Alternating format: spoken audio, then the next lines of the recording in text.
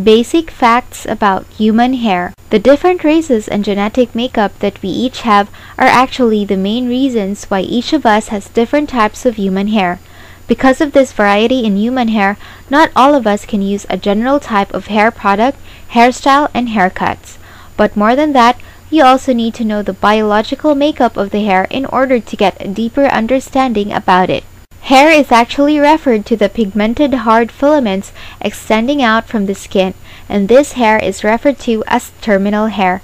Terminal hair basically grows on the dermis and is seen many parts of the body, the head, legs, arms, armpits, pubic parts, and face. It is noted to have a thick texture and color will vary on the ethnicity that you have.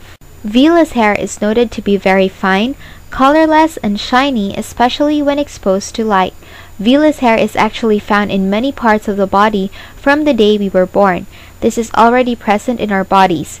Compared to terminal hair, the vellus hair is not that of very visible human hair, but depending on what part of the body it belongs to, it may eventually turn to terminal hair as puberty begins. It is also referred to as peach fuzz and is only a few millimeters in terms of length. Lanugo hair is human hair usually found in newborn babies, and this can be observed that it is part of the entire body. It is characterized as long, thick, and at times very strong.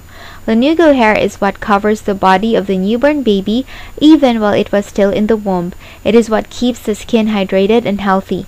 But as the baby grows older, the vellus hair replaces it and becomes lesser as the baby ages. Because we are of different nationalities and genes, people's hair types is usually classified according to the race that he or she comes from, because people that we closely resemble in terms of genetic makeup are those who are of the same race as we do, hence the classification of hair type according to regional ethnicity.